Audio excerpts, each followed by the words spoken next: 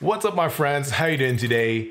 I'm wondering how many of you watching this video right now click the thumbnail and are asking to themselves, why Jean-Felix, why are you making another eyes video?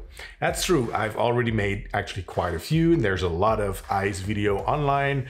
But the reason is I had some interrogation or problems in the past making my clear eyes at home and I didn't know why. I was getting some different result every time and I was always using the same technique.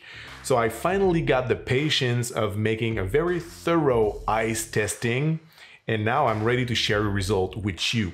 I'm not saying that the other videos that I've made are obsolete, not at all, just that this video is kind of an update or an upgrade on these previous videos. So if you guys are ready, today I'm gonna share with you what today is my favorite way to make clear ice at home. Let's go.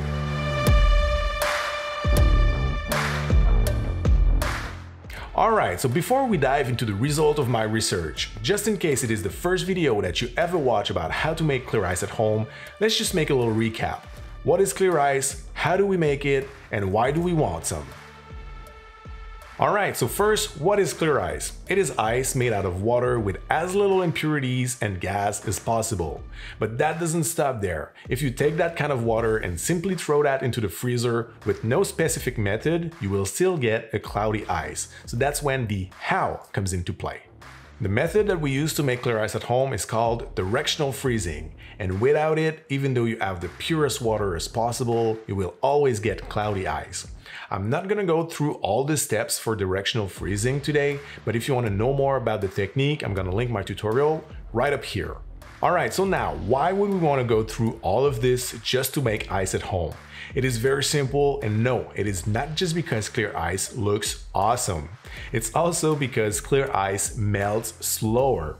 And when you use ice into your drink or into your spirit, what you want to do is to chill your drink down and you want to add a little bit of dilution, but you don't want to water it down. So we need ice that will melt as slow as possible for better control. So that's it for the recap. Now, what are the problems that I faced and what are the tests that I've made? When I was making my clear ice at home, most of the time I was simply using tap water and using my cooler for directional freezing. I was simply putting that into my freezer and I was never getting the same result.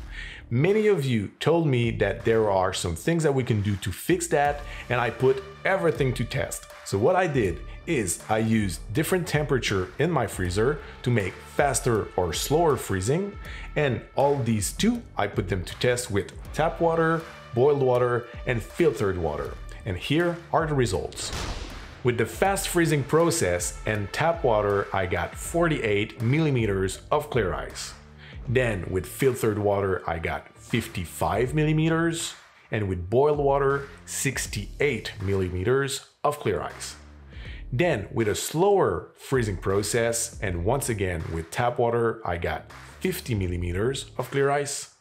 With filtered water, 56 millimeters.